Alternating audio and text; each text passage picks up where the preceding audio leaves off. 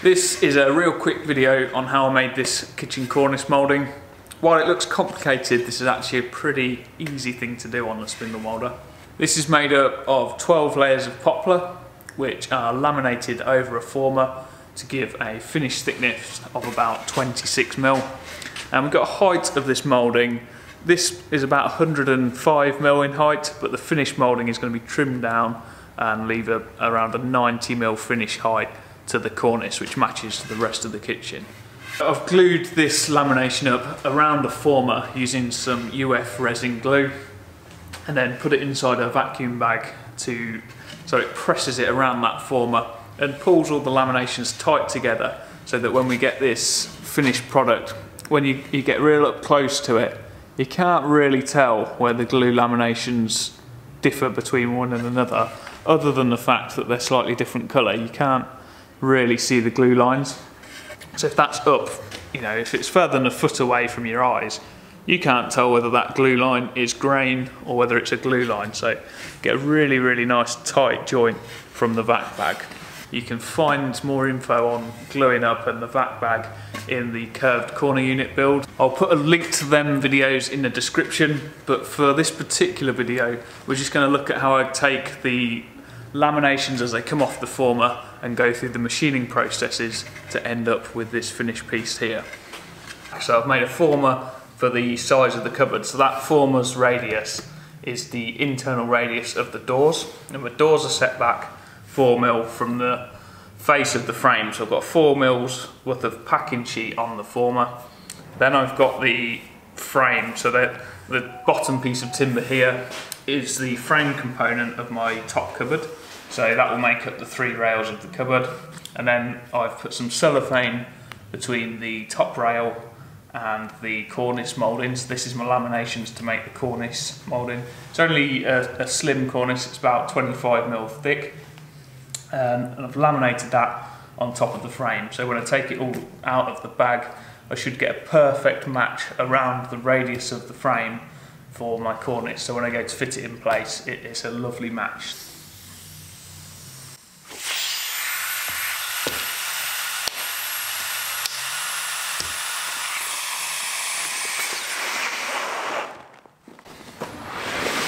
If you're watching this video and you haven't seen the progress of the curve cabinet, there's a couple of links in the description to the first curve cabinet I ever made and then I've done a second video as well which has probably not been released yet if you're watching this as it's been released. But that's going to be detailing what I did differently on the top unit against what I did on the the first unit I did, on, on like the base unit.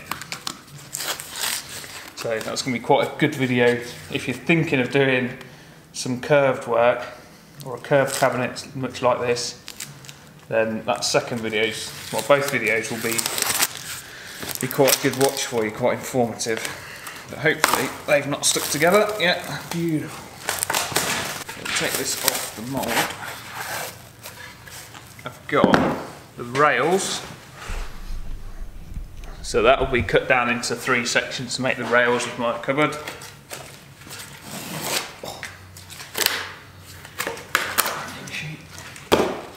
And then this piece will be my cornice and it should fit together absolutely beautifully.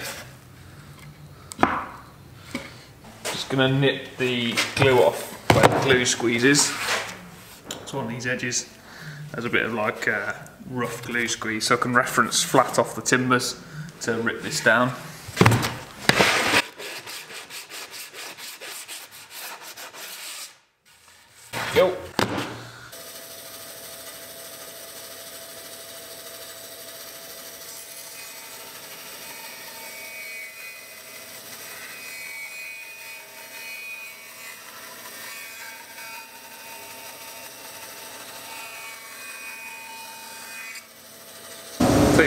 That's gone beautifully well. There's not a single gap in that section, which is nice and handy, considering we're going to be moulding or cutting through the layers.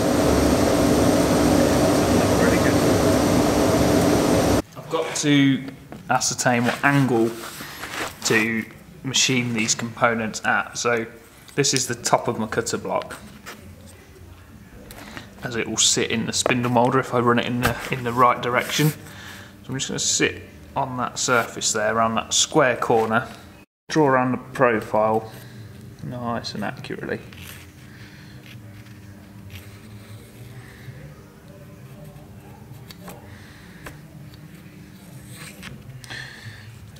there. This is my piece of timber, this is the cutter. Now my cornice I've done on the rest of the pieces of wood is around 25 mil thick at the widest point. Then at the very bottom I've got a little nib here and then I've got a bevel back at 45 degrees so I use my little angle gauge. These are brilliant. I'll put another link to these in the description. I set my planer up with this, so when I'm checking my planer, it's dead, dead square. I use this rather than an engineer square because this is this is so accurate, and it's got a, just a nice long flat edge to both edges. So that's what I use to set my machinery up. I think it's great. Anyway, about four mil at the bottom so roughly looks a bit like that as a bottom profile. More melt.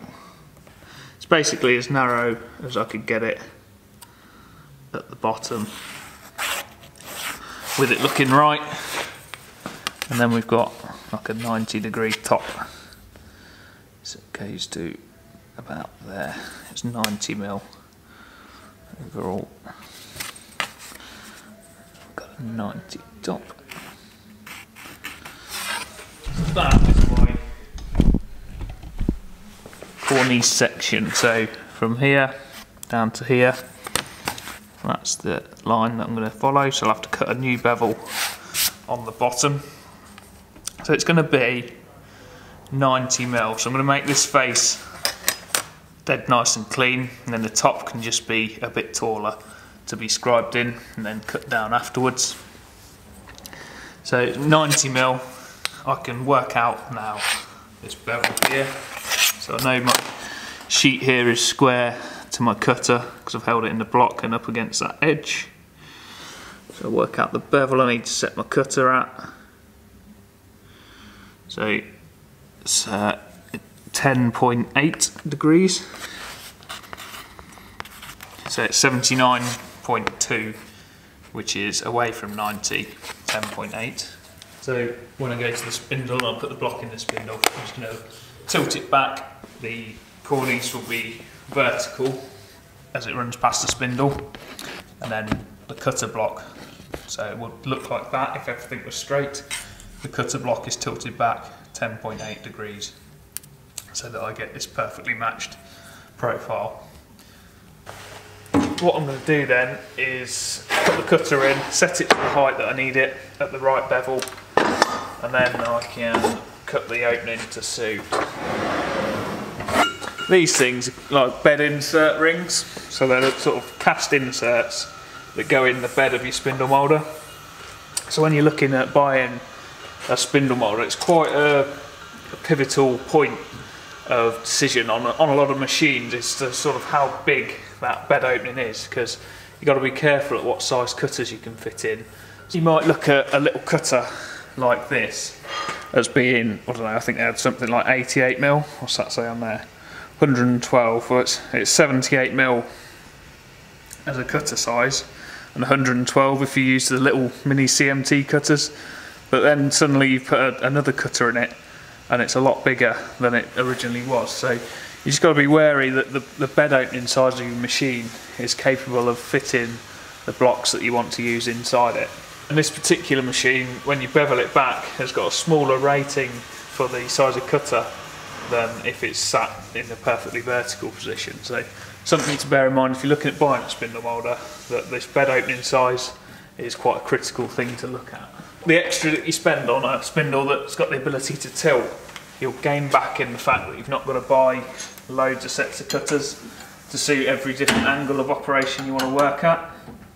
So you can, you know, you don't, you, if you're just making windows, you'd immediately save on a sill cutter block because you could buy a, a fairly tall sort of carbide insert rebate block and just tilt it back to make your sills.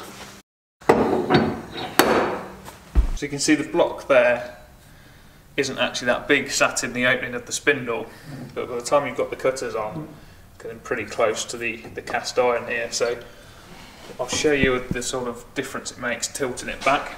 Just going to unlock it. Turn this wheel.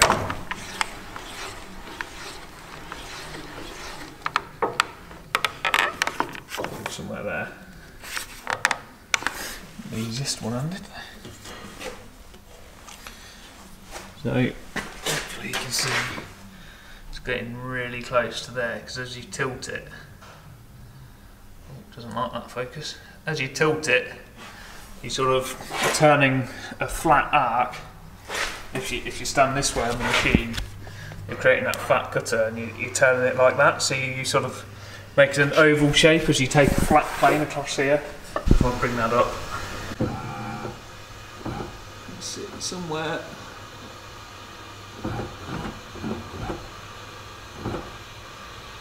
Somewhere there.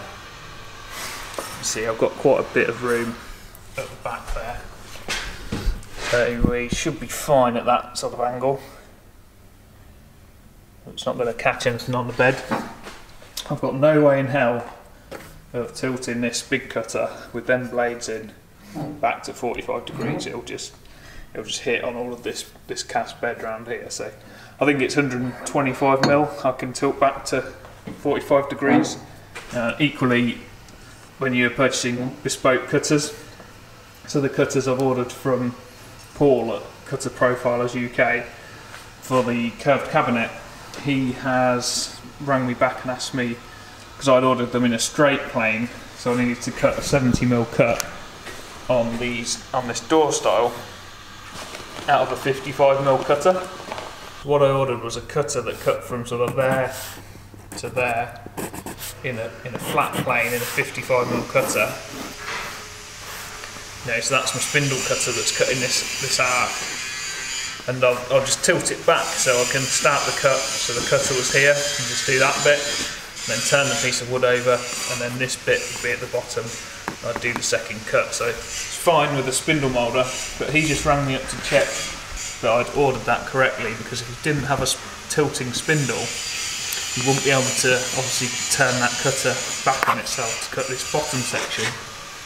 So what he suggested was make the cutter so it sort of started there and then finished up there at the top so that if you've not got a, a tilting spindle you could do one side, turn it over and then do the other side. So just worth thinking about, you know, if you're looking at buying a machine, set yourself up for the future and get something that's going to save you a bit of money and be more convenient. Set the height on that cutter.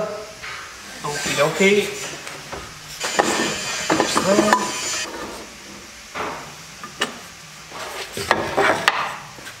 the highest point of the cutter and measure that 98 mil and then the deepest bit of the cut be about there so if I just pull these fences back till they miss.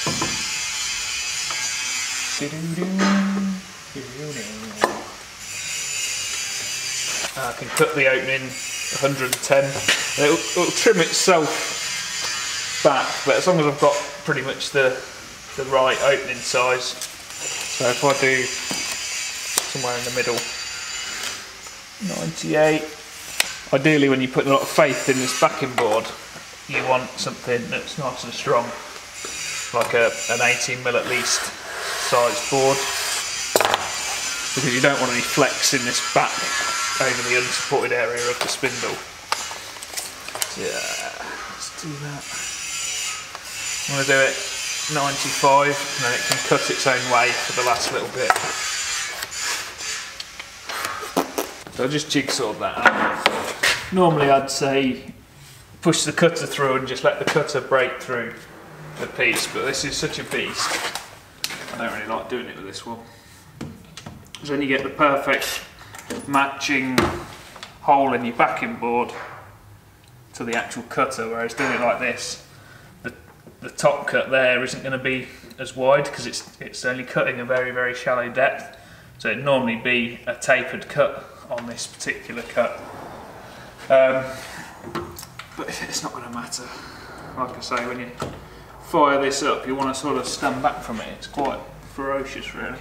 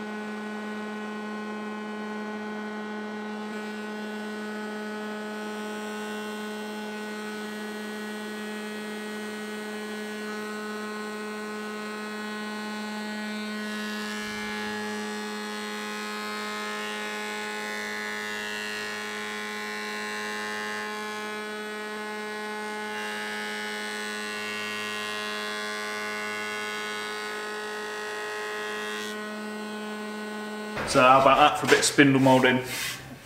Biggest cutter I've got, curved work, fed by hand.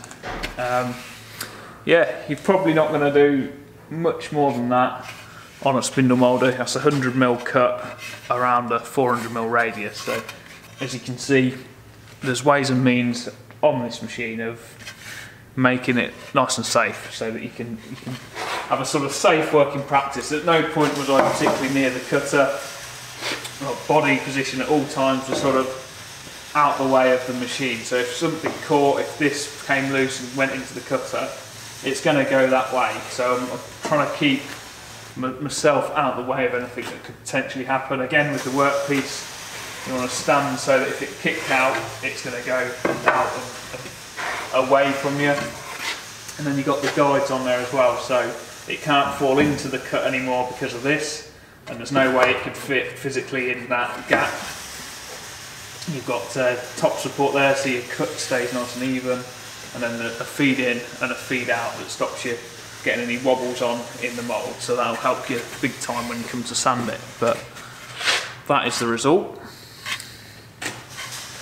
So it's pretty good. Dead simple. Um, that's took me naff all time really to to cut that out. You'd think that'd take you ages, like a fancy moulding like that, to, to get around the curve, but as probably gluing it up, laminating the block of wood was the, the longest part. Have a closer look at the laminations. If you stained that, you'd, well, you, you wouldn't tell that that was a laminated piece. They are absolutely perfect. Oh, I can't really tell. It just looks like wood grain where the laminations are. So if it's all from the same piece, I mean that bit there is a, is a blued piece of grain, you, could, you can pick up that that is a different piece, but if it was all from the same piece of wood, there's no way you'd see that that was laminated. Moment of truth. It's probably going to sit on the top of that one, so that'll be the top rail. It'll probably sit somewhere. Oh, look at that. She's bonny. Look at that. Beautiful. The moulding matches where it's going to sit on that frame pretty nicely. I just sit it on my drawing to make sure that I've got enough material for it to run around there, which I've just, just, I cut it pretty close because I, turned the vac bag off and it actually just lifted off the former a little bit. So I've cut that pretty close to 50 mil. So about five mil either side scribe in here and over here. So I've just got to be careful that my frame doesn't end up too big because my cornice won't fit. But I'm going to call that a success.